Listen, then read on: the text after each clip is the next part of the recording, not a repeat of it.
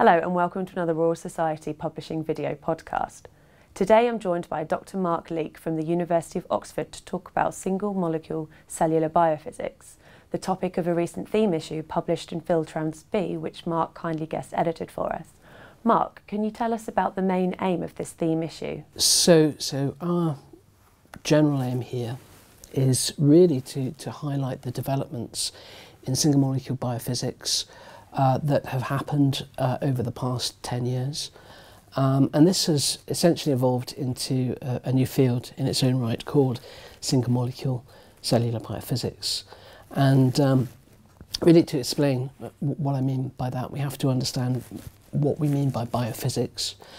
Uh, and this really is the application of um, either physical methods or techniques or even intellectual concepts uh, applied to addressing some of the challenging questions in the life sciences. And, and possibly the best known example of this is the structural determination of DNA. So um, you had to use bulk biochemical techniques to purify the DNA to form uh, crystals of the DNA. But to actually get the, the structure of DNA out, uh, you had to basically um, perform X-ray diffraction, and this is fundamentally a physical science technique, and also analyse these X-ray diffraction patterns. And so this is you know, heavily embedded in, in the physical sciences. Now, single molecule biophysics takes us to a, completely different length scale, and it's a length scale characterised by the nanometer, and by that I mean um, a meter divided by uh, a thousand million. And this is the length scale of, of, of single molecules.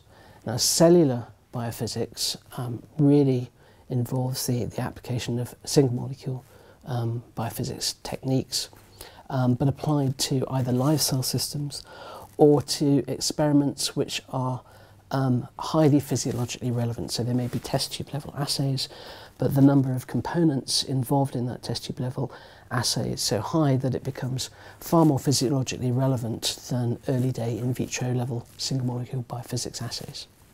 Why is this field so important and how is it helping scientists answer some of the fundamental questions in cellular biology? Okay. This begs the question of what drives cellular processes. Uh, and, and, really, we, we know now that the driving factors in um, cell processes are things called molecular machines. Uh, and these are machines um, like um, macroscopic length scale machines such as you know cars and um, you know other other devices. Um, but these are characterized by the length scale of the single molecule. Now the difference between these machines and macroscopic length scale machines is that there's um, a characteristic instability in these machines and by that I mean they can flip between different energy states. And this is all part of the, the required function in cell biology. Now, using bulk ensemble averaging techniques, which is sort of the classical biochemical approach, we can't address that level of instability because what you then focus on is the, the um, average um, of many different energetic states, if you like. You can't see the whole heterogeneous picture. But really, the cellular process is actually governed by this fundamental heterogeneity. So you have to have a technique that can fundamentally allow you to identify these different key metastable states. Uh, and this is the regime of, of single molecule techniques, and this is why it's so essential to actually use these techniques to understand cell biology. Since the first detection of single molecules, what do you think have been the key developments that have led to the field we see today? I, th I think there have been two key developments. One is um, an exponential rise in the sensitivity of detectors, um, primarily driven by camera technology. So cameras are so sensitive now that you can detect 95% of the photons incident upon that detector. So 19 out of 20 um, photons are detected.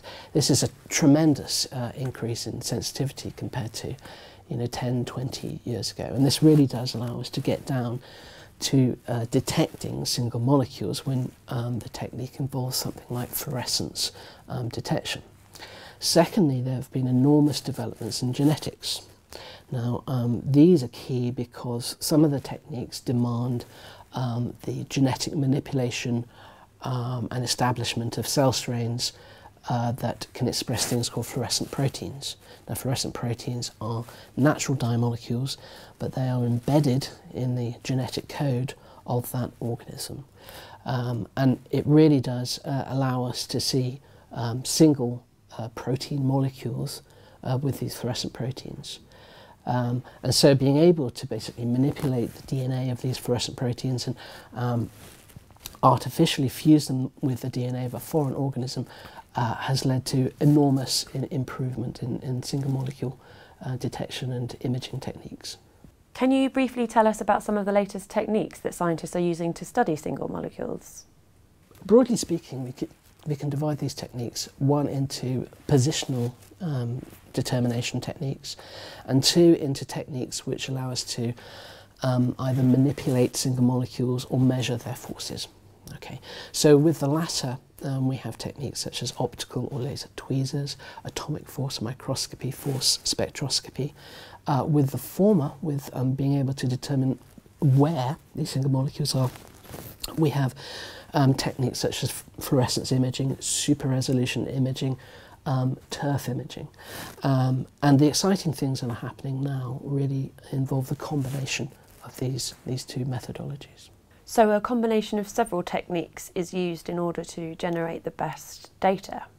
Exactly, because the, the first generation of single molecule techniques basically involved um, isolated single molecules using one technique. Um, now we can actually focus on molecules which are not necessarily isolated but also throw a combination of different single molecule techniques at that one single molecule. Uh, and what that generates is um, extra dimensions of information, and that all allows us to build up a picture of biologically really what's happening. And how are biocomputational methods contributing to the field? So, so there, are, there are two key challenges with um, experimental single molecule data.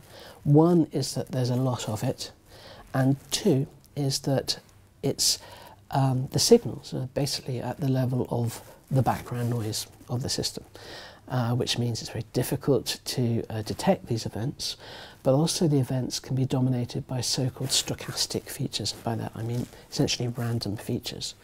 And this means it's very difficult to tell from any one single molecule event exactly what's happening. So if you remember I told you about multiple states existing with molecular machines. Um, if you have um, multiple states, then that means that the single molecule measurement that you get out will have a different number to it, but that number is plus or minus a, a noise factor.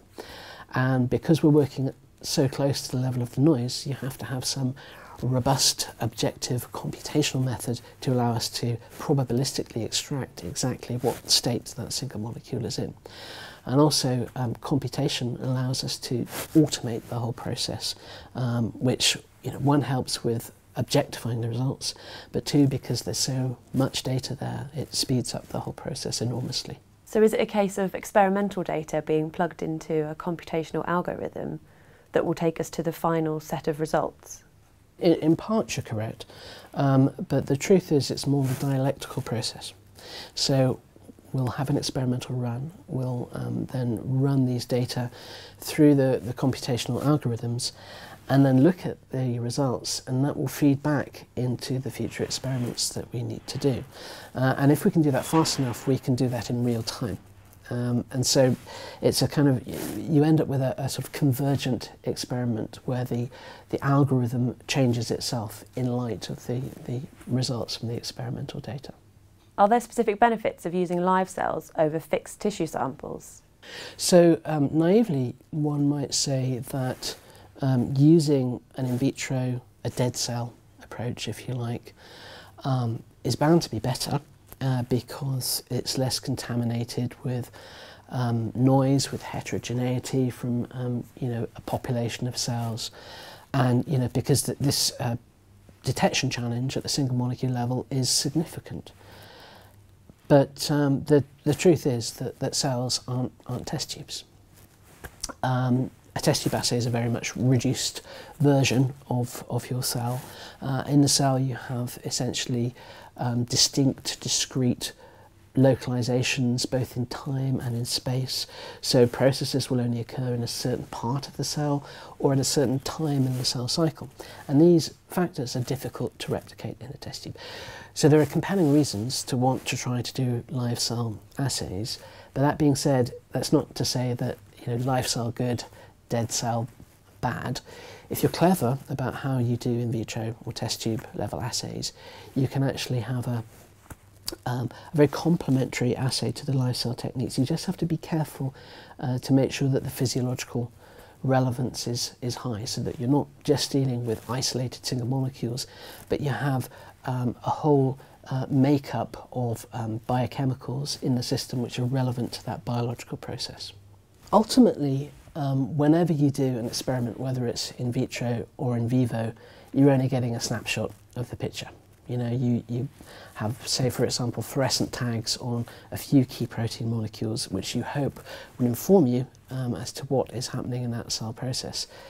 What you don't see is the rest, and the rest is significant. It's, you know, it's dark matter biologically, um, and, and that's, that represents a challenge. And the complementary aspect between in vitro and in vivo is such that you can essentially label different components to build up a, a bigger picture of the, this jigsaw as to what really is happening inside the living cell. And finally, what does the future offer for single molecule cellular biophysics? I, I would say that the future lies beyond the single molecule and um, beyond the single cell. So uh, by that I mean um, techniques are being developed which allow us to monitor not just one um, protein molecule in a cell at the same time, but um, a whole raft of, of different proteins that may be interacting with each other. So although these are single molecule techniques, this is multi-molecule detection. Um, secondly, um, most of the techniques at the moment are focused on single cells. Uh, a logical evolution of that uh, would be to look at the multicellular level, so communication between different cells, ultimately going on to, to whole tissues, because these are the questions we really want to address, questions which are, are biomedically more relevant. You know, why do, why do cancers form in, in the way they do? Um, why do uh, tissues in the human body not regenerate as well as they can when people get old? Um, and so these are all questions which we can think about addressing with single molecule techniques, but we really have to push back the boundaries of the techniques to allow us to go to a multicellular, multi-molecule environment. Brilliant. Thank you, Mark, and thank you for watching.